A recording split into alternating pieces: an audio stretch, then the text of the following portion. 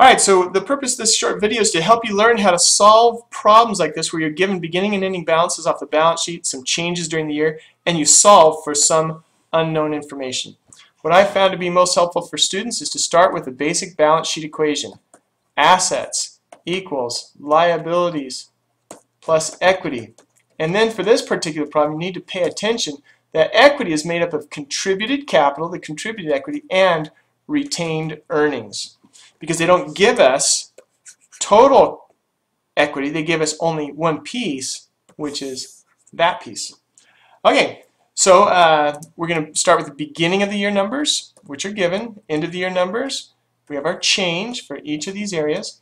And then you're going to break this out into two pieces. Retained earnings is going to be made up of your net income. The change in retainers will be made up of your net income minus minus your dividends, okay, minus dividends, and net income is made up of revenues minus expenses.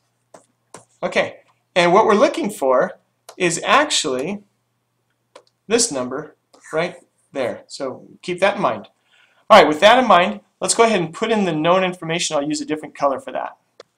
Okay, my known information on assets are 40,000 beginning and 60,000 end which means assets increased by 20,000.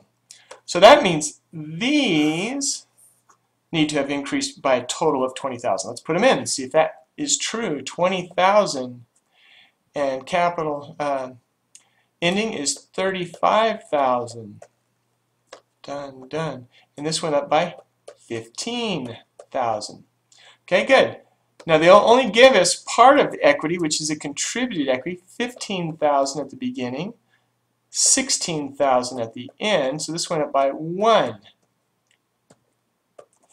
So mathematically, um, this is 16. This can only be 4. Retained earnings change can only be 4. Okay? Well, 20 plus 15 is 35, so this has to be 5. So 5, this would have to be 9. Let's just prove that out. 16 plus 9, 24. 16 plus 9, sorry, 16 plus 9 is 25, plus 35 is 60. Okay, so you see that the math works. It works down vertically and it works horizontally. This all together adds up to 20. Okay, now that we have that, then we can start working our way down because we want to figure out what revenues are we'll put in, uh, okay, so we'll, we'll just solve for this. So now we know the given is 700 in dividends and the given expenses are 9,000. I'm going to change the color here. Okay, so we solved for these guys, right, because they weren't given. We solved for these guys because they weren't given. We're going to keep working it down. 4,000 minus 700, sorry, something minus 700 is 4,000. So that would have to be 4,700. 4,700 minus 700 equals 4,000. Good. Working our way down. Something minus 9,000 equals 4,700. So that something would have to be 13,700 minus 9,000. And that is your answer.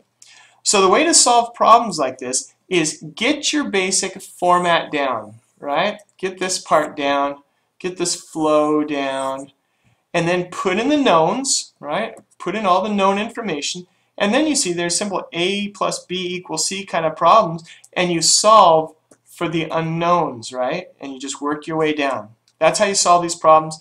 I'm sure you can put in uh, your own numbers to solve a similar problem. Sometimes we'll give you total equity, beginning and ending. Sometimes we only give you part of equity, beginning and ending. So in this case, we didn't give you the retained earnings beginning and ending numbers. You had to, actually had to solve for that. So this is a little more challenging. Honestly, this is probably as tough as it gets in this in this uh, class. Sometimes we will ask you to determine expenses, and we've given you revenues, but that's how it works, and I hope it helps. Aloha!